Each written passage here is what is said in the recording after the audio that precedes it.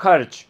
અસ્થિર ખર્ચને મુખ્ય ખર્ચ કહેવાવાળા કોણ? માર્શલ દાદેશ. અને માર્શલ દાદેશે એવું કીધું કે જેમ જેમ ધંધામાં ઉત્પાદન વધે, એમ એમ અસ્થિર ખર્ચ વધતો જાય છે. માટે અસ્થિર ખર્ચને કેવો ખર્ચ કહેવાય? મુખ્ય ખર્ચ.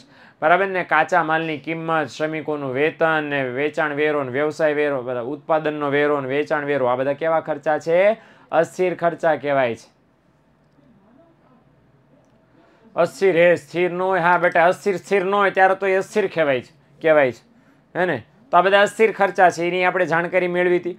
અને આ બેને ભેગા કરો, સરવાળો કરો, તો શું આપણને મળે? તો એ જે આપણને મળે એને કહેવાય કુલ ખર્ચ. અલા ભાઈ. કેવો ખર્ચ? કુલ ખર્ચ. એટલે આજે આપણે શું ભણવાના છે કુલ ખર્ચ ભણવાના છીએ. સમય રહેશે તો આપણે સરેરાશ સ્થિર ખર્ચ એ પણ ભણવાના છીએ. અને સરેરાશ અસ્થિર ખર્ચ એ પણ આપણે ભણવાના છીએ. ખુ ખુ ખી, ખીમ શા ઓકે? તો આટલું આપણે ભણવાનો આજે પ્રયત્ન કરશું. આ બે એક ફેમિલીના છે કાકા મામા માસીના સભ્યો છે, એટલે આપણે એની વાત કરવાના છે. Done okay? તો ચલો. કુલ ખર્ચની આપણે જરાક વાત કરી લઈએ. વોટ ઇઝ કુલ ખર્ચ? અંગ્રેજીમાં એને કહેવાય ટીસી શું કહેવાય ભાઈ ટીસી ટીસી એટલે પેલું લાઇટવાળું આવે નહીં ટીસી એટલે ટોટલ કોસ્ટ શું કહેવાય એને? ટોટલ કોસ્ટ તો હવે જરાક જોઈ લો ટોટલ કોસ્ટ એટલે શું? બઘરી વ્યાખ્યા છે ભાઈ. કે ધંધાના એટલે કે પેઢીના સ્થિર ખર્ચ અને અસ્થિર ખર્ચ એ બેનો સરવાળો. એને શું કહેવાય? કુલ ખર્ચ કહેવાય. હે ને? સ્થિર ખર્ચ અને અસ્થિર ખર્ચનો સરવાળો કરો. ઉસકો આમ ક્યાં બોલતે અહીં કુલ ખર્ચ બોલતે અહીં સમજ મેં પડતા અહીં હે ને? તો સ્થિર અને અસ્થિર ખર્ચના સરવાળાને કુલ ખર્ચ કહેવાય. સૂત્ર પણ એવું છે બાપુ સૂત્ર તો બહુ અઘરું છે, સ્થિર ખર્ચ વત્તા અસ્થિર ખર્ચ, બરાબર? કુલ ખર્ચ, આવું સૂત્ર છે. ઓકે? હવે અહીંયા શું કહેવામાં આવ્યું છે? કે પેઢીનું જે ઉત્પાદન છે અને જે આ કુલ ખર્ચ છે, બંને વચ્ચે કેવો સંબંધ છે? કાર્ય કારણનો કાર્ય કારણનો સંબંધ, આવો શબ્દ આપણે અગાઉ પણ આવી ગયો છે. આપણે ઓલા વિધેય ભણતા હતા, પુરવઠાનો વિધેય, માંગનો વિધેય, એ સમયે. પણ છતાં ફરીવાર આપણે રિપીટ કરી લઈએ. તો કાર્ય કારણમાં બે શબ્દો છે, કાર્ય અને કારણ. હવે એમાં કાર્ય શબ્દ છે. તો કાર્ય શું છે? પછી થાય એને કાર્ય કહેવાય. તો તમને એવું લાગે પહેલા ઉત્પાદન થાય કે પહેલાં ખર્ચો થાય? તો કે પહેલાં ઉત્પાદન થાય ને પછી ખર્ચો. ઉત્પાદન કરો તો ખર્ચો થાય. એટલે ખર્ચ છે એ પછી થાય. એટલા માટે એને કહેવાય કાર્ય. કોના લીધે ખર્ચો થયો? ઉત્પાદનના લીધે. તો એ કહેવાય કારણ.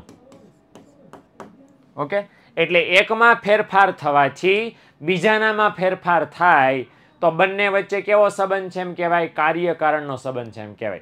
તો આ પરિબળ છે ઉત્પાદન નામનું પરિબળ, એ કારણ કહેવાય. ખર્ચ નામનું પરિબળ છે, એ શું કહેવાય? કાર્ય. એટલે સાદી ભાષામાં એક પરિબળના લીધે બીજા પરિબળમાં ચેન્જીસ આવે છે, ફેરફાર થાય છે. તો ધીસ ઇઝ ધ ધીસ કાર્યકારણ કા સંબંધ. ઓકે? એટલે બંને વચ્ચે કાર્યકારણનો સંબંધ છે એમ તમે કહી શકો. અચ્છા, એવી પણ અગત્યની વસ્તુ કે પેઢીનું કુલ ઉત્પાદન વધુ હોય તો કુલ ખર્ચ પણ શું થાય? વધે. આ તો સિમ્પલ વાત છે ને. ઉત્પાદન વધે તો કુલ ખર્ચ વધે. ઉત્પાદન ઘટે તો કુલ ખર્ચ ઘટે. હા, સીધો સંબંધ યુ કેન છે સીધો સંબંધ છે. ઉત્પાદન વધે તો અહીં લખ્યું જ ને, આ લખ્યું છે જો, કે કુલ ઉત્પાદન વધુ તો ખર્ચ પણ વધુ. સિમ્પલ. અને કુલ ઉત્પાદન ઓછું તો ખર્ચ પણ ઓછું. હે ને? ઓકે. હવે જે કુલ ખર્ચ છે સૂત્ર બહુ અઘરું છે ભાઈ. જોઈ લો. અને અંગ્રેજીમાં પણ છે, હા, કોઈ હમણાં લખ્યું હતું કોમેન્ટ્સમાં હે કે ટીસી બરાબર ટીએફસી પ્લસ ટીવી છે, આનો પીવીસી વંચત પણ ટીવી છે આપણે રાખીએ. ટીસી એટલે total cost is equal to કુલ સ્થિર ખર્ચ એટલે ટોટલ ફિક્સ્ડ કોસ્ટ અને કુલ અસ્થિર ખર્ચ એટલે ટોટલ વેરિયેબલ કોસ્ટ ઓકે એટલે આ જે બે ખર્ચા છે, આ બેનો સરવાળો કરો એટલે આપણને શું મળે? ટીસી મળે. ટોટલ કોસ્ટ કુલ ખર્ચ આપણને મળી જાય. હા ને? તો આવું સરસ મજાનું સૂત્ર છે છે ને અઘરું? એટલે તમારે વ્યાખ્યા પાકી ન કરાય, સૂત્ર પાકું કરાય. સૂત્ર કરો, સ્થિર ખર્ચ વત્તા અસ્થિર ખર્ચ. તો આ બેનો તરવાળો કરો અને તો આપણને શું મળે? કુલ ખર્ચ મળે. ઓકે છે? મારે પોલ હમણાં હું કરી લઉં અત્યારે પોલ નથી કરવો ભાઈ. પણ બધું સમજાય. કોઈને સવાલ હોય તો પ્લીઝ પૂછી લેજો. હા. કંકુના કરી નાખીએ લ્યો ને ભાઈ. આજ કરો કાલ કરવું આજ કેદી કાલ કેદી કાલ, કેદી થાય છે, કાલ કાલ થતા પછી પોલ ભૂલાઈ જાય છે. હાલ ભાઈ, આજા સિમ સિમ આવી ગયો છે આ શું છે? કે આવું એક ભજન હતું. બરો, આજ બોલું કાલ બોલું કાલ, કેદી થાય છે, કાલ કાલ કાલ થતા તે ભપમ ભપમ ઉડી જાય છે. આવું કંઈક આવતું હતું, ખબર નથી એક્ઝામમાં શું આવતું હતું એક્ઝેક્ટલી પણ કંઈક આવતું હતું, રામ જાણે હવે શું આવતું હતું. ભજન ભજન હતું સરસ મજાનું. ઓકે ભગવાનનું નામ કેમ? આજ બોલું, કાલ બોલું, પછી એમ કે કાલ કાલ કાલ, ભગવાનનું ભજન, કાલ કાલ કાલ કરશું. પછી તો કે કાલ કેદી થાય, તો કે કાલ થાય. પછી કાલ થાય તો તમે ઉપડી જાઓ. વૈયા જાઓ તમે. થાય અને ઉપડી ઉપડી જાઓ તમે. હે ને? એટલા માટે કાલની વાટ જોવાય નહીં. આજનો દિવસ શ્રેષ્ઠ દિવસ છે. ઓકે સમજણ પડી? એમ કે ને, કાલ કાલ કરશો કાલ કાલ કરવા ગયા ને, કાલ થઈ ગયું તો સીધા ઉપડી જાઓ ને તમે. સર આલેખ એક્ઝામમાં પૂછાય, અગિયારમાં ધોરણમાં નોય, અર્થશાસ્ત્રમાં નોય, બારમામાં હોય. અગિયારમાં નહીં. હોય, પણ બારમામાં, હા ને? ઓકે, એટલે. પણ છોકરાઓ, તમારું સૂત્ર એ છે, જો કોઈ લખ્યું છે આફીએ કે સર, કલ કરીશું, આજ કર, કાજ કરી આજ કરીશું, અબ. આવડું છોકરાઓનું સૂત્ર ઊંધું છે કે છે આજ કરીશો કલ કર કલ કરીશો પરસો. ઓકે એવું સૂત્ર છે છોકરાઓનું આપણે એટલે ઠીક છે. ઇંગ્લિશનું સૂત્ર લખવાની જરૂર નથી. ઓકે હવે જો અહીં લખ્યું છે કે ઉત્પાદન વધતા પેઢીનો સ્થિર ખર્ચ તો સ્થિર જ રહે છે. કારણ કે એ ભાઈમાં કંઈ ફેર પડવાનું નથી. પણ કોની હળી થાય છે અસ્થિર ખર્ચની? ઉત્પાદન વધે તો અસ્થિર ખર્ચમાં શું થાય છે? વધારો. શું થાય છે ઉત્પાદન અસ્થિર ખર્ચમાં વધારો. અને એટલા માટે કુલ ખર્ચમાં જે વધારો થાય કોના ભાઈના લીધે થાય છે? અસ્થિર ખર્ચના લીધે. હમણાં અનુસૂચિમાં તમને સમજાવું છું આ બંને લીટી ફરીવાર તો જોઈ લો અનુસૂચિ. ધીસ ઇઝ ધ અનુસૂચિ વી હેવ ઓકે અનુસૂચિમાં આપણે ચાર બાબતોને ધ્યાનમાં લીધી ઉત્પાદનનું પ્રમાણ, કુલ સ્થિર ખર્ચ, કુલ અસ્થિર ખર્ચ અને કુલ ખર્ચ. ઓકે જરાક સમજી લેવા જેવું કામ છે આ. હવે અહીંયા ધ્યાન આપો કે સ્થિર અને અસ્થિર ખર્ચ, આ બેનો સરવાળો કરો, એટલે આપણને શું મળવાનું છે? કુલ ખર્ચ. યાદ રાખજો કે અનુસૂચિમાં ચાર ચાર બાબત કેમ? આપણે તો કુલ ખર્ચ ભણી રહ્યા છીએ. અને જ્યારે કુલ ખર્ચ ભણી રહ્યા છીએ, તો ઉત્પાદનનું પ્રમાણ ને કુલ ખર્ચ બે જ હોવા જોઈએ ને? તો વચ્ચે એ દોનો કાં છે ટપક પડે ભાઈ. એટલા માટે એક સૂત્ર શું છે? સ્થિર ખર્ચ વત્તા અસ્થિર ખર્ચ બરાબર કુલ ખર્ચ. એટલે કુલ ખર્ચ મેળવવા માટે આ બે ભાઈઓની જરૂર પડે. તો જ કુલ ખર્ચ મળે. હે ને? એટલા માટે આ બે ભાઈને આપણે લખ્યા છે. ઓકે? અનુસૂચિ ઘરની બનાવી શકો, ઘરના આંકડા લખી શકો. બિંદાસ. નિયમ ભૂલવાનો નથી. કયો નિયમ? ઉત્પાદન શૂન્યથી શરૂ કરો, વધારતા જાઓ. આ મેં પચાસ સુધી રાખ્યું, ચોપડીવાળાએ પચાસ સુધી રાખ્યું છે. સ્થિર ખર્ચમાં કોઈ એક આંકડો નક્કી કરી લો. દાખલા તરીકે ત્રીસ. દાખલા તરીકે પચાસ અહીં ચોપડીવાળા નક્કી કર્યો સો ખર્ચનું લક્ષણ શું છે એ ગમે એટલું ઉત્પાદન વધારો ગમે એટલું ઘટાડો ગમે એટલું ઝીરો કરી નાખો એ થાતું એટલું જ થાય એટલે જો એ દર વખતે સો સો સો સો સો સો સો સો સો સો સો સો સો સો છે ને સો જેટલું થાય છે અસ્થિર ખર્ચની વાત કરો તો અસ્થિર ખર્ચ છે એ જરાક હળિયું છે આ ભાઈને કંઈ ફેર જ પડતો, પણ આ ભાઈને તો સીધો ફેર પડે. કારણ કે અસ્થિર ખર્ચને તો ઉત્પાદનના પ્રમાણની સાથે સીધો સંબંધ છે. એટલે અહીંયા જોઈ શકો એમ કે ઉત્પાદન શૂન્ય, તો આ પણ શૂન્ય. હવે ઉત્પાદનમાં વધારો થયો, તો અસ્થિર ખર્ચમાં પણ વધારો થાય, સ્વાભાવિક છે. થાય ને વધારો? એટલે અહીંયા જુઓ કે ઉત્પાદનમાં વધારો થાય છે. તો અહીંયા ખર્ચમાં પણ શું કર્યો આપણે? વધારો. Okay, done? આ તો આપણે નોર્મલી કરીએ જ છીએ દર વખતે. હવે આ બેનો સરવાળો આપણે કરવાનો છે, બરાબર? આ સ્થિર ખર્ચ અને અસ્થિર બેનો સરવાળો. એટલે આપણને આ મળશે રાઉન્ડ અપ ઓકે હવે આજે આપણને આ મળે છે શું આમાં થાય? સો વત્તા ઝીરો, એટલે કેટલો જવાબ મળ્યો? સો. મળ્યો ને? સો. હવે બીજામાં સો વત્તા એંશી, એકસો એંશી, સો વત્તા દોઢસો, અઢીસો, સો વત્તા બસો દસ ત્રણસો દસ બસો નેવું વત્તા સો, ત્રણસો નેવું ત્રણસો નેવું વત્તા સો, ચારસો ને. મળી ગયું? હવે ઉત્પાદન વધ્યું, તો કુલ ખર્ચમાં શું થયો? બોલો, આ ઉત્પાદન એ વધ્યું. હવે આ બેન ભૂલી જાઓ ઘડીક, બે મિનિટ માટે. ઉત્પાદન વધ્યું, તો કુલ ખર્ચમાં શું થયો? વધારો. છે ને કુલ ખર્ચમાં વધારો? હવે કુલ ખર્ચમાં વધારો કોના લીધે થયો? એનું એનાલિસિસ કરવા માટે આ બેને ફંફોળીએ આપણે. તો ખબર પડે આપણને ભાઈ, કે આ ભાઈ તો સ્થિર હતા. અદબ વાળીને, અદબ પલોટી ટટ્ટાર મોઢા પર આ કોણ હતું આવું? સ્થિર ખર્ચ.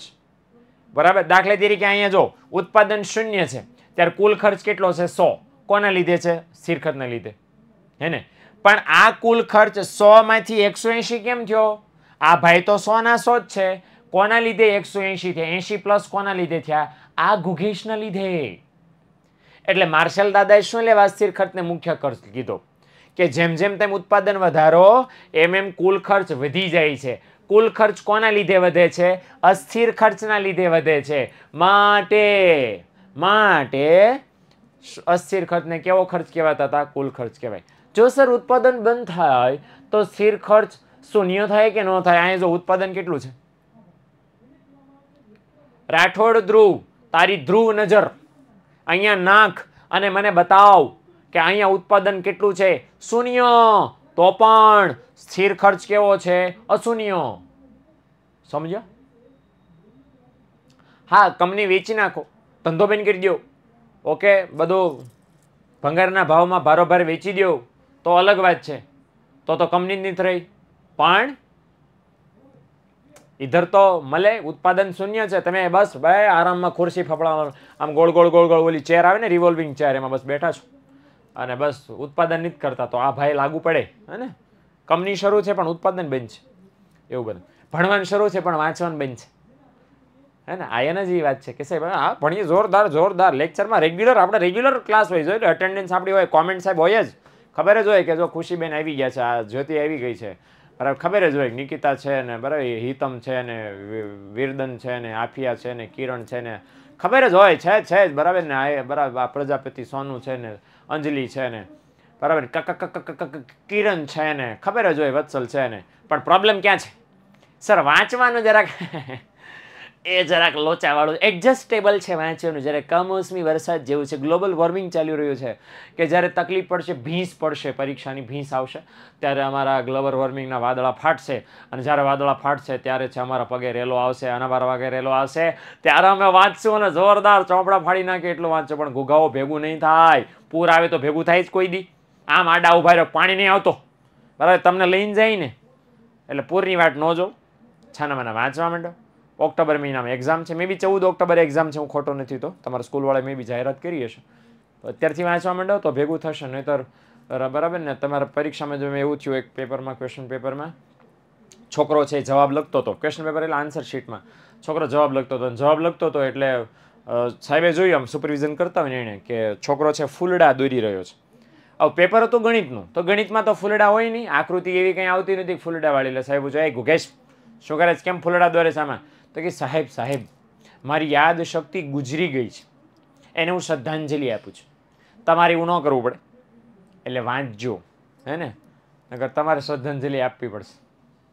હા, અમે સાથે છીએ એટલે તમારે ડરવાની કોઈ વાત નથી. કોઈ લીધું જો વિદ્યાકુલ હે સાથ તો ડરને કી ક્યાં હે બાત?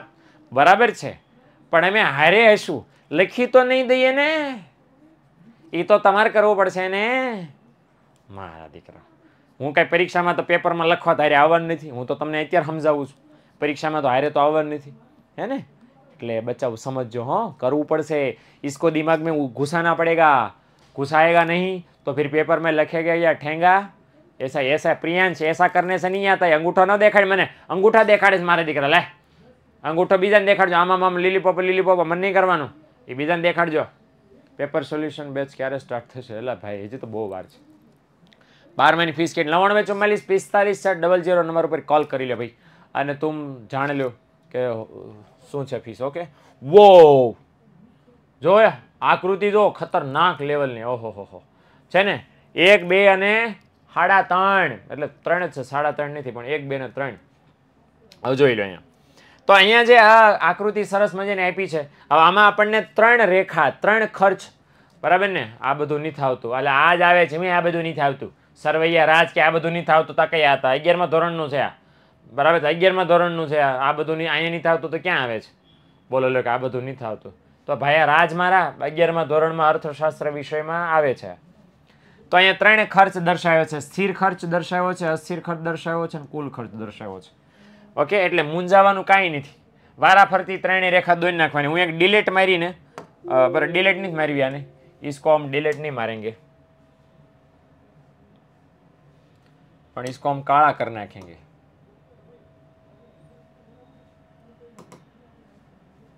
क्या कर नाखेंगे કાળા હા બ્લેકઆઉટ તો હવે હું દોરું બરાબર અનુસૂચિ તો યાદ છે એટલે સૌથી પહેલા જો આ ભાઈ રહી જતા હોય ને તો મારે કામ થઈ જાય ના ના વયું જાય છે એટલે જો પહેલા શું કરવાનું છે કે એક્સ અક્ષને વાય એક્સ દોરી નાખ્યો એક્સ અક્ષને વાય એક્સ દોર્યો ઓકે તો અહીંયા શું થાય કે ઉત્પાદનનું પ્રમાણ અને સ્થિર ખર્ચ. આ બેને ધ્યાનમાં લઈને પહેલાં દોરી નાખવાની. પછી એમાં આના પોઈન્ટ્સ ભેળવાના રેખા દોરી નાખવાની આના પોઈન્ટ્સ ભેળવાના રેખા દોરી નાખવાની. એટલે જો હું તમને દોરીને બતાવું છું કઈ રીતે દોરી શકાય. ઓકે? તો એક્સ અક્ષ, આ એક શખ્સ આ વાય અક્ષ થઈ ગયો. હે ને? આ ઉત્પાદનનું પ્રમાણ થઈ ગયું અને આ થઈ ગયો ખર્ચ. અહીંયા તમે સો ને બસો ને ત્રણસો ને ચારસો ને જે તમે લખો છો વોટેવર વોટેવર ઓકે અહીંયા દસ ને વીસ ને ત્રીસ ને ચાલીસ ને પચાસ ને સાઠ ને સિત્તેર ને એંશી. ઓકે ડન વોટેવર અહીંયા આપણે ઉત્પાદનનો ખર્ચ અનુસૂચિમાં કેટલો હતો? સો. પાઠ્યપુસ્તકમાં જોશો તો તમને ખ્યાલ આવી જાય સો, સોનો આપ્યો છે. એટલે મારા બધા બિંદુ અહીંયા આવશે. દોરી નાખ્યું. સ્થિર ખર્ચની રેખા થઈ ગઈ. પછી આવશે અસ્થિર ખર્ચ. તો અસ્થિર ખર્ચ ઉત્પાદન શૂન્ય હતું, ત્યારે આ ભાઈ શૂન્ય હતા. પછી કેટલો છે એકસો એંશી. એટલે અહીંયા કંઈક આવશે એકસો એંશી. અને પછી તમે ટપકા કરતા જશો. એટલે આ ભાઈના બધા મુદા પુદા આમ થતું જશે. આ બધા બિંદુને જોડી દેશો. તો આ કંઈક રેખા મળશે. આ કઈ રેખા મળી? આ અસ્થિર ખર્ચની રેખા મળી. આ કઈ રેખા મળી આપણને? સ્થિર ખર્ચ રેખા. હવે મેઇન મુદ્દો એ બરાબર? આપણો મેઇન હીરો કુલ ખર્ચ. કુલ ખર્ચમાં ઉત્પાદન શૂન્ય છે, ત્યારે કેટલા રૂપિયા થાય છે? સો. એટલે પહેલું બિંદુ એનું અહીંયા આવશે. આ સો ઉપર. પહેલું બિંદુ સો ઉપર આવશે. પછી જેમ જેમ આવે છે, સો, પછી બસો એંશી. એટલે અહીંયા બિંદુ આવશે, પછી અહીંયા આવશે અહીંયા આવશે અહીંયા આવશે ને આવી રીતે આવશે. એ બધાને જોડી દો તો આવું થશે. આ જે રેખા મળી, આ કેવી રેખા મળી? કુલ ખર્ચ રેખા. હે ને? તો તમે વ્યવસ્થિત આ તમે ઉતાવળ ઉતાવળમાં દોરી છે એટલે આવી દોરાય છે પણ વ્યવસ્થિત દોરશો, ડાયા દીકરાઓ થઈ, ઓકે? તો પછી પુસ્તકમાં છે, આવી દોરાશે, હે ને? તો એવી રીતે તમારે દોરવાની થશે. મેઇન આપણે કામની વસ્તુ તો કુલ ખર્ચની રેખા સાથે છે, હે ને? એટલે પણ છતાંય આપણે આ રીતે દોરવાનું હોય, દોરવી પડે, દોરવું જોઈએ, હે ને? ચલો ક્લિયર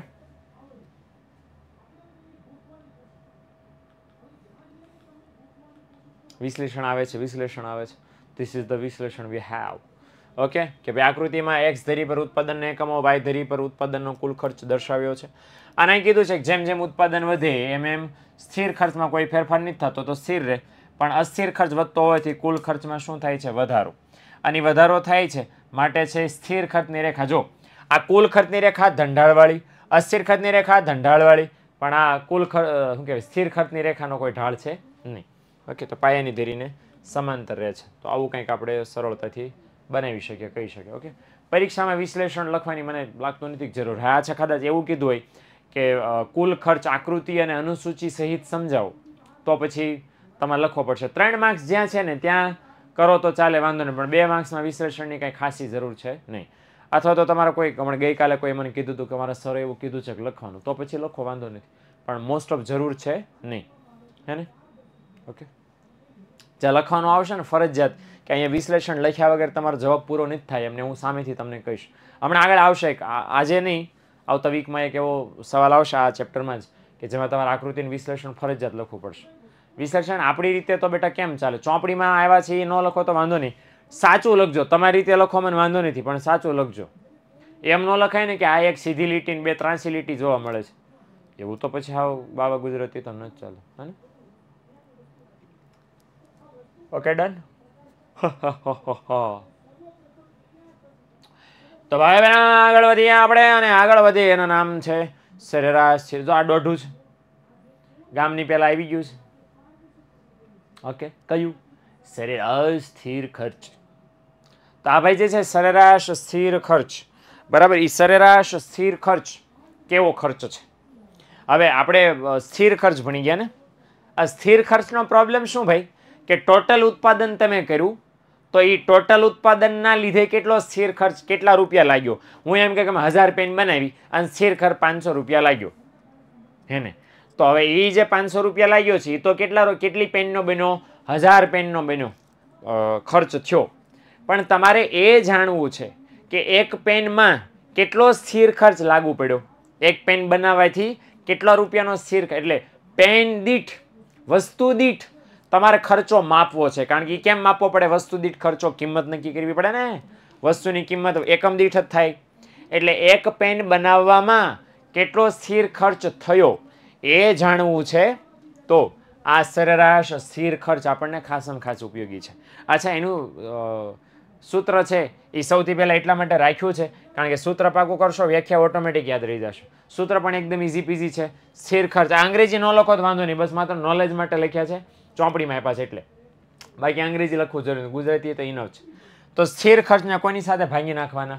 ઉત્પાદનના એકમોની સાથે. સ્થિર ખર્ચનો ભાંગાકાર ઉત્પાદનના એકમો સાથે કરો. તો આપણને શું મળે? સરેરાશ સ્થિર ખર્ચ મળે. અચ્છા એ એફસીનો મતલબ શું છે? કે એફસી નથી હોય એએફસી છે. Average fix cost okay average છે કે સાહેબ? ના ના મેં તો કેએફસી આવે. આ તો પ્રિન્ટિંગ મિસ્ટેક છે. તો કેએફસી નહીં ગુગેશો શું આવે? એ એફસી જ આવે. Okay? Average fix cost okay? હવે એ આપણને કઈ રીતે મળે છે? સ્થિર ખર્ચ ભાંગ્યા ઉત્પાદનના એકમો.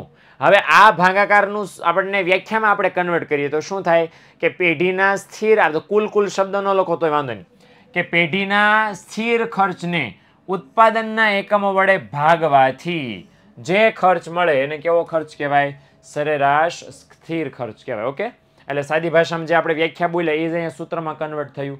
કે સ્થિર ખર્ચનો ભાંગાકાર ઉત્પાદનના એકમોની સાથે કરવામાં આવે. ગુણોત્તર હું લ્યા લખવું છે, રાજેશ? ગુણોત્તરમાં એવું તને શું ગમી ગયું છે? એ ત્રીજા ચેપ્ટરમાં આવતું હતું માંગની મૂલ્ય સાપેક્ષતામાં. અહીંયા આપણે મૂલ્ય સાપેક્ષતા લખી રહ્યા હોત, ભણી રહ્યા હોત, તો આપણે ગુણોત્તર શબ્દ લખેત, પણ આપણે ભણી રહ્યા છીએ સરેરાશ સ્થિર ખર્ચ. સરેરાશવાળું માપ ભણી રહ્યા છીએ ત્યાં ભાંગાકાર જ લખી શકાય. સાદી ભાષામાં સમજો ને એક પ્રકારનો મધ્યક ભણીએ છીએ આપણે. મધ્યકમાં શું કરતા હતા? કુલ અવલોકનો ભાંગ્યા અવલોકનોની સંખ્યા. એવું જ કરતા હતા ને? તો સ્થિર ખર્ચ ભાંગ્યા અવલોકનોની સંખ્યા એટલે ઉત્પાદનના એકમો. તો મધ્યક જ ગણીએ છીએ આપણે સાદી ભાષામાં. એને પણ એના અલગ શબ્દોથી ગણીએ છીએ. એટલા માટે ભાગાકાર શબ્દ લખવાનો છે, ગુણોત્તર નહીં. હે ને? ચાલો. તો સૂત્ર છે. જો મેં હમણાં તમને શરૂઆતમાં સમજાવ્યું એમ કે સરેરાશ સ્થિર ખર્ચ કેવો ખર્ચ છે? એકમ દીઠ ખર્ચ છે. એટલે વસ્તુનું એક એકમ બનાવવું, એક પેન આપણે બનાવી. એક પેન બનાવવાથી કેટલા રૂપિયાનો ખર્ચો થશે કે થયો? ઓકે? તો એ સરેરાશ સ્થિર ખર્ચ આપણે જોઈ શકીએ.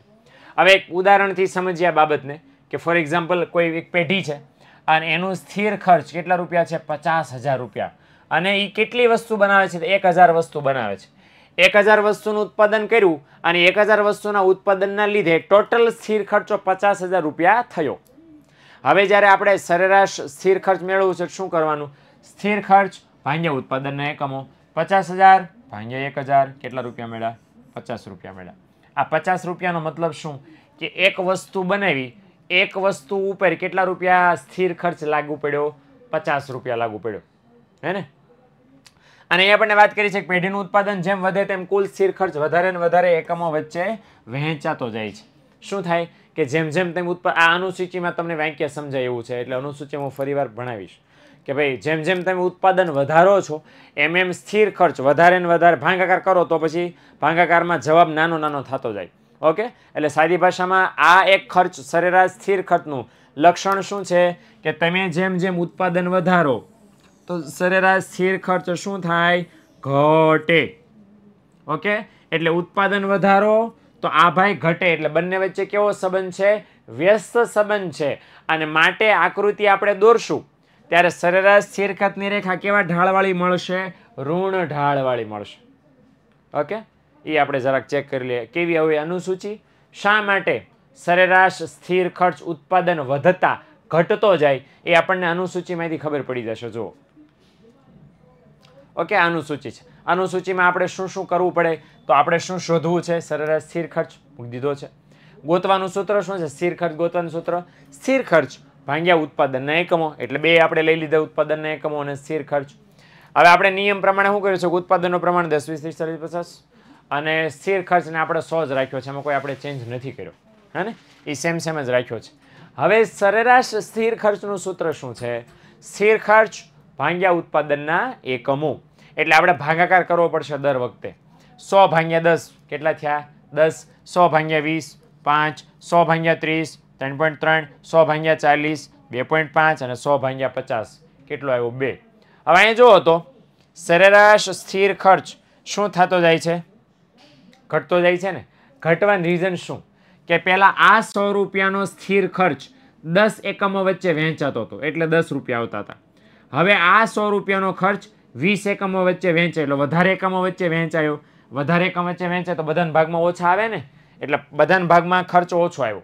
એટલે અહીંયા જેમ જેમ તેમ ઉત્પાદન વધારતા જાઓ, એમ એમ આ ખર્ચો વધારે ને વધારે એકમો વચ્ચે વહેંચાતો જાય. હે ને? અહીંયા સો રૂપિયાનો ખર્ચ કેટલા એકમો વચ્ચે વહેંચાય છે? પચાસ. માટે કેટલો, કેટલા રૂપિયા એવા બે. ઓકે? એટલે જેમ જેમ તમે કન્ટિન્યુઅસલી કોન્સ્ટન્ટલી ઉત્પાદન વધારતા જ જાઓ, વધારતા જ જાઓ, વધારતા જાઓ, તોય સ્થિર ખર્ચો સો રૂપિયા જ રહેવાનો છે. એમાં કાંઈ તો ફેર પડવાનો નથી. એટલે આ જવાબ નાનો થતો જાય. હવે કોઈ એમ કે સાહેબ એ તો હજી તમે ઉત્પાદન છે સો કરો તો તો સો ભાંગ્યા સો બરાબર? એક. એમ નહીં. ઉત્પાદન બસો એકમનું કરો તો તો સો ભાંગ્યા બસો એટલે ઝીરો પોઈન્ટ પાંચ. હજાર એકમનું કરો તો તો ઝીરો પોઈન્ટ ઝીરો ઝીરો એક. કોઈ દિવસ સરેરાશ સ્થિર ખર્ચ ઘટે ખરા, પણ કોઈ દિવસ શૂન્ય થાય નહીં. Zero point zero zero zero પાંચ. શૂન્ય તો ન કહેવાય ને? શૂન્યની ભલે નજીક કહેવાય, પણ શૂન્ય તો ન કહેવાય. એટલે સરેરાશ સ્થિર ખર્ચનું લક્ષણ શું છે? કે તમે જેમ જેમ ઉત્પાદન વધારશો, એમ એમ આ ભાઈમાં શું થતો થશે ઘટાડો. શું થાય થઈ શકે? ઘટાડો. પણ કોઈ દિવસ ઝીરો થાય નહીં. કારણ કે આ આંકડો છે ને એનામાં એના કારણે કોઈ દી ઝીરો થવાનો નથી. ઝીરો પણ zero zero zero zero zero પાંત્રીસ થાય. ઝીરો ન થાય. હે ને? ઉત્પાદન ગ્રેટર ધેન સ્થિર ખર્ચ થઈ શકે. આ ભાઈ હું લેવા આવું કરવું છે? આપણે જ મને દસ ઉસથી ઉત્પાદનને સ્થિર ખર્ચ વચ્ચેનો સંબંધ જ આપણે નથી ભણી રહ્યા અત્યારે. આપણે તો બેનો ભાંગાકાર કરીએ છીએ. વૈભવ, ખબર નહીં તું શું સમજો છો? પણ હું સમજાવવા એવું માગું છું કે સ્થિર ખર્ચનો ભાંગાકાર આપણે કરવા માગીએ છીએ. ઓકે? સંબંધ ગ્રેટર ધેન લેસ ધેન આપણે અહીંયા નક્કી નથી કરી રહ્યા અત્યારે. હે ને? ઉત્પાદન ઝીરો હોય તો તો થાય ને. ઉત્પાદન જ જો ઝીરો હોય તો. ઉત્પાદન ઝીરો હોય તો સો ભાગ્યા ઝીરો કરો તો. ઉત્પાદન ક્યાં આપણે ઝીરો તો એ ખર્ચો તો સો રૂપિયા જ થાય ને. ખર્ચો કેટલો રૂપિયા થાય? સો રૂપિયા. એટલે ઉત્પાદન અહીં હું ઝીરો કરી નાખું. એ તો તમારું કેલ્ક્યુલેટર એમ કહે છે કે સો ભાગ્યા ઝીરો એટલે ઝીરો પણ હકીકતમાં ગણિતમાં સો ભાગ્યા ઝીરો એટલે ઝીરો નથી થતા. બરાબર? આપણા ભારતના સરસ મજાના ગણિત શાસ્ત્રી થઈ ગયા. રામાનુજન. અને એમણે એવું કીધું કે ભાઈઓ બહેનો, સો ભાગ્યા ઝીરો એટલે ઝીરો નહીં. ઓકે? પણ છતાં અહીંયા ઝીરો લખો તો ખર્ચો તો થયો ને સો રૂપિયા. આ ક્યાં ઘટ્યો? અને આ સો છે એટલે વળી પાછું અહીંયા આવે છે. ઓકે? એટલે વળી પાછું કિરણ અને બે ત્રણ જણાની બીજાની જરાક માણસોની જરાક રિક્વેસ્ટ છે સાહેબ, ફરીવાર સમજાવો. એટલે ફટાફટ કહી દો તમને. સૂત્ર શું છે? સ્થિર ખર્ચનું. સ્થિર ખર્ચ ભાંગ્યા ઉત્પાદનના એકમો. હે ને? એટલે આપણે સ્થિર ખર્ચ તો આ જ હતું. સો સો જ રાખ્યા. ભાંગાકાર કર્યો, સો ભાંગ્યા દસ. કેલ્ક્યુલેટરમાં કરો તો મળી જાય ને? સો ભાંગ્યા દસ એટલે દસ, સો ભાંગ્યા વીસ એટલે પાંચ. ભાગાકાર કરવાનો છે. બીજું કંઈ ગણતરી આ જ છે ત્રણ પોઈન્ટ ત્રણ ક્યાંથી આવ્યા? સો ભાંગ્યા ત્રીસ કરીને. બે પોઈન્ટ પાંચ ક્યાંથી આવ્યા સો ભાગ્યા ચાલીસ કરીને. સો ક્યાંથી આવ્યા સો સોરી બે ક્યાંથી આવ્યા સો ભાગ્યા પચાસ કરીને. બીજી વસ્તુ શું સમજવાની? કે અહીંયા જેમ જેમ ઉત્પાદન વધે, એમ એમ સરેરાશ સ્થિર ખર્ચ શું થાય છે? ઘટે છે. કેમ ઘટ્યો ભાઈ?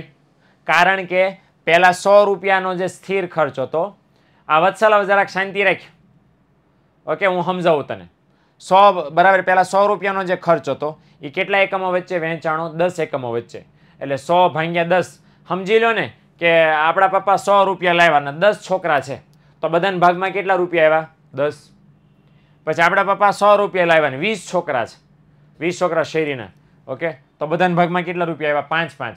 જેમ જેમ અહીંયા છોકરા વધતા ગયા, એમ એમ બધાના ભાગમાં ઓછા ઓછા આવતા ગયા. એટલે કોઈ કંપની જેમ જેમ વધારે ને વધારે વસ્તુ બનાવતી જાય, એમ આ ખર્ચો છે, બધા વચ્ચે કેવો થતો જાય વેચર જેમ તમે ઝાઝી પેન બનાવો, એમ એકમ દીઠ, પેન દીઠ ખર્ચો કેવો થતો જાય? ઘટતો જાય. ઓકે? આપણે કુલ ખર્ચની વાત નથી કરતા, આપણે સ્થિર ખર્ચની વાત કરીએ છીએ. અને એના ઉપરથી મળતા સરેરાશ સ્થિર ખર્ચની વાત કરીએ છીએ. બરાબર? કુલ ખર્ચો વધતો જાય, એ ગેરંટી છે. કુલ ખર્ચો વધવાનો જ છે, હમણાં આગળ ભણી રહે પણ આપણે આજે સરેરાશ સ્થિર ખર્ચની વાત કરીએ છીએ, એ ઘટતો જાય. હવે ઘટતા ઘટતા કોઈ દી જિંદગીમાં ઝીરો બને નહીં. ઓકે? વત્સલ ડાયો નહીં થતો હવે. હવે તો નેટ ઉપર ગૂગલ ઉપર સર્ચ કરીને જરાક જાણી લેજે એટલે તને ખ્યાલ આવી જશે ઓકે અહીંયા ડિસ્કશન મને નથી લાગતું કરવું જોઈએ, બરાબર? કારણ કે લાંબુ થઈ જશે. ટોપિક બાય ટોપિક વયો જશે, હે ને? ગૂગલમાં કરજો. સો ભાગ્યા ઝીરો એટલે ઝીરો મેથી બરાબર? કેલ્ક્યુલેટરના દ્રષ્ટિએ તો ઝીરો જ આવે છે. મને ખબર છે તમારી કે તમે કેલ્ક્યુલેટર લઈને બેઠા છો અને આમ કહો છો સો સો ભાગ્યા સો એટલે ઝીરો પણ બરાબર? ગૂગલ દેવતાને પૂછજો અને ગૂગલ દેવતા ન પૂછો તો એસ. આપણા રામાનુજન સરસ મજાના ગણિત શાસ્ત્રી થઈ ગયા. એમને પૂછજો સો ભાગ્યા સો ઝીરો આવતો નથી ઓકે હાલો. આની અનુસૂચિ પ્રમાણે આકૃતિ દોરીએ. ઓકે તો આ એક રેખા કેમ આવી? તો આપણે આ જે સ્થિર ખર્ચવાળું છે આને આપણે ધ્યાનમાં લીધા નથી. ઓકે આને આપણે ધ્યાનમાં લેતા નથી. સ્થિર ખર્ચને આપણે ધ્યાનમાં નથી લેતા. ઓકે કયા કયા મુદ્દા ધ્યાનમાં લીધા? ઉત્પાદનનું પ્રમાણ અને સરેરાશ સ્થિર ખર્ચને. તો આ ઉત્પાદનનું પ્રમાણ ધ્યાનમાં લીધું છે ને સરેરાશ સ્થિર ખર્ચને ધ્યાનમાં લીધો છે. એટલે આપણે આ બે પોઈન્ટને લેશું. ઓકે તો જો પહેલો મુદ્દો છે, દસ ને દસ ક્યાં થાય? તો કે અહીંયા. પછી વીસ એકમ હોય ત્યારે કેટલું ઉત્પાદન થયું? પાંચ, એટલે બીજો પોઈન્ટ અહીંયા છે ને. ઓકે પછી ત્રીજું છે, ત્રીસ એકમનું ઉત્પાદન થાય ત્યારે ખર્ચો કેટલો? ત્રણ પોઈન્ટ ત્રણ. એટલે ત્રીસ એકમ અહીંયા ખર્ચો કેટલો? ત્રણ પોઈન્ટ ત્રણ અહીંયા. પછી ચોથું બિંદુ અહીંયા ને પાંચમું બિંદુ અહીંયા. બધાને જોડ દો તો આવો કંઈક ઢાળ મળે. અચ્છા, આ કેવો ઢાળ છે? ઓકે થેર ખર્ચ કેટલા ઉત્પાદન વધી શકે? વૈભવ, સવાલ તો સમજે એમ પૂછ મારા ભાઈ. સવાલ સમજાનો નહીં, વૈભવ. શું કહેવા માંગે છે ઓકે આ કેવા ઢાળવાળી રેખા મળી આપણને? ઋણ ઢાળવાળી મળી આપણને, હે ને? રોનેદા રોનેદા નહીં અયાજ ઋણ ઢાળ. બિચારા ઋણ ઢાળ લખવું તો પણ રોને દા લખાઈ ગયું. ઓકે રોહન ડાળ રોહન દાલ. અયાજ કેમ કેમ ઋણ ઢાળનું કતલ કરે છો? શબ્દે શબ્દે, કોમેન્ટે. પેલા કે રોને દા, પછી કે રોહન દાલ. ઋણ ઋણ ઢાળ. ऋण ढाल ओके हेलो त्यारे हो जाता है कभी कभी बराबर एक्सीडेंट हो जाते हैं आंगलियों में एक्सीडेंट ऐसा तो हमारे छोटे छोटे शहर में बड़ी बड़ी बातें होती रहती हैं ઓકે હવે જરાક આ ઋણ ઢાળ મળે છે ને જરાક એનાલિસિસ જોઈ લે બહુ કામનું છે તો એક્સ ધરી પર આ અને વાય ધરી પર આ બે દર્શાવી દીધું છે હવે અહીં જો શું કીધું છે કે ઉત્પાદન જેમ જેમ વધતું જાય એમ એમ સરેરાશ સ્થિરખતની રેખા ડાબી બાજુ ઉપર તરફથી જમણી બાજુ નીચે આવતી જાય છે એટલે કેવા ઢાળવાળી છે ઋણ ઢાળવાળી છે હે ને? અને જો અહીંયા લખ્યું છે, ખાસમ ખાસ આ યાદ રાખવા જેવું. આ યાદ રાખજો, એક માર્ક્સ માટે ઘણી બધી વાર પૂછાય છે આ.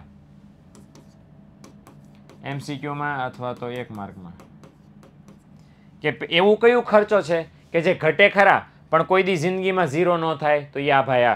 અને ઝીરો ન થાય કેમ? કારણ કે મેં સમજાવ્યું કે ખર્ચો તો ખર્ચો રહેવાનો જ છે. હે ને? ઓકે તો ખર્ચો તો થવાનો જ છે ખર્ચો તો રહેવાનો જ છે એટલે કહેવાનો મારો મતલબ એ છે કે અહીંયા જેમ જેમ તમે ગમી કરો છો પણ જેમ જેમ અહીંયા ઢાળ આવતો જાય જો કે ઝીરો તો થાય નહીં તો પછી આ ઘટીને જાય ક્યાં તો જેમ ઘટાડો ઉત્પાદન તેમ વધાર્યા કરો તો આ ખર્ચ રેખા ઘટવાની છે એટલે માની લો કે તમે સાઠનું કર્યું સિત્તેરનું કર્યું એંશીનું કર્યું તો એ ઘટીને આમ કરીને ઘટીને આમ આમ આમ આમ આમ આમ આમ હાલી જાય પણ કોઈ દી એક શખ્સને અડે નહીં એક અક્ષને કેમ ન અડે? કારણ કે એક અક્ષને અડે તો ઝીરો થઈ જાય. અને આ ભાઈ કોઈ દી ઝીરો થતા નથી. એટલે પુષ્પા છે સમજી લો. ઘટે છે ખરા. શૂન્ય કોઈ દી થાય નહીં. ઓકે? આ નિર્મિત તે લખ્યું છે સંસ્કારોની સોસાયટીમાં શેતાનોનું સામ્રાજ્ય. આને ને આને વસ્તુને હું ધ્યાનમાં લેવાનું લેવા જેવું છે જરાક. નિર્મિત ચૌધરી મને સમજાવશે. સર ગૂગલ પર અન અનઆઇડેન્ટિફાઈડ બતા હા. છે ને? ઝીરો નહીં થાવતું ને પણ? તો પછી? તો કઈ રીતે તમે કહી શકો ઝીરો અનઆઇડેન્ટિફાઈડ એટલે તમે ઓળખી નહીં શકતા ખૂવાનો જવાબ આવે હે ને? આ વસ્તુ છે.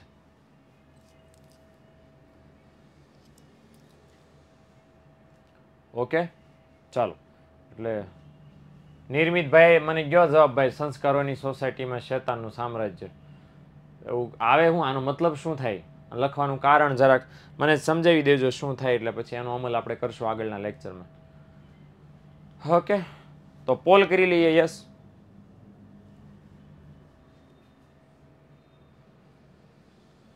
we do the poll. And we will do the poll. Poll on poll. હાલો, આજે પાંચેક મિનિટ આપણી પાસે છે, તો હું જરાક તમને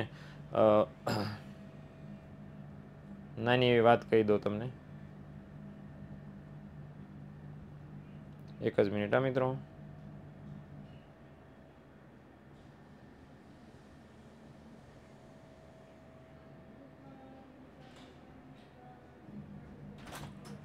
ઓકે ડન છે? ચલો.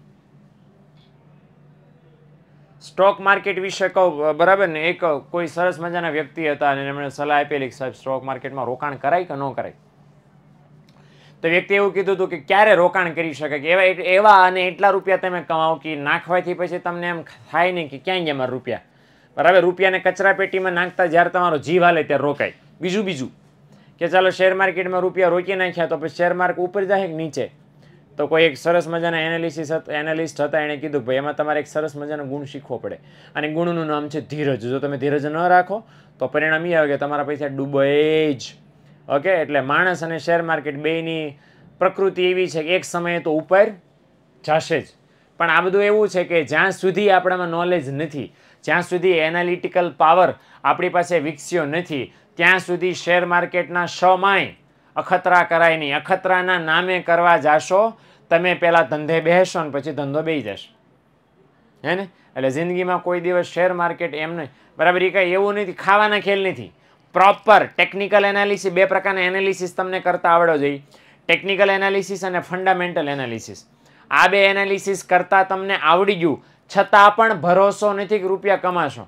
કારણ કે શેર માર્કેટમાં ક્યારે કોઈ કાંઈ કૌભાંડ બહાર આવે ને બધું ધડામ બેસી જાય ક્યારે ક્યાંય યુદ્ધ ફાટી નીકળે. અને તમારી ગણતરીઓ સાઈડમાં રહી જાય, મંદી એવી જાય અને બધું શેર માર્કેટમાં લાલ લાલ લાલ લાલ બધા શેર થઈ જાય, તો કાંઈ કોઈ ઠેકાણા નથી ભાઈ. ઓકે એટલે જ્યારે તમે શેર માર્કેટમાં મારી સલાહ એવી છે છાની માની, કે છાનામાના અત્યારે અગિયારમાં ધોરણમાં છો, તો ભણો. એવું ભણો શેર માર્કેટવાળા તમારી પાસે કંઈક સબ્જી, આમાં કંઈક મદદ કરો ને. હે ને? એટલે એમાં જે જે તમે એવા સમાચાર સાંભળો છો કે રાતોરાત કરોડપતિ થઈ ગયા ને રાતોરાત લખપતિ થઈ ગયા બાય દવે તો એ સમાચાર એવા સાંભળવા પડે છે, પણ તમે ક લગાડજો છે. રાતોરાત રોડપતિ થઈ ગયાના દાખલા જાજા છે. કરોડપતિના નથી. હે ને? એટલે આ સલાહને ધ્યાનમાં રાખજો. આઘારીઓ અત્યારે ટ્રેડિંગથી કાંઈ માર્કેટની અત્યારે કોઈ જાણકારી તમારી જરૂર નથી. જે જાણકારીની જરૂર છે અત્યારે તમને સાત વિષયના સ્વરૂપમાં મળી રહી છે. એ અમલમાં મૂકો અને વાંચો અને મળીએ આપણે આવતા બુધવારે.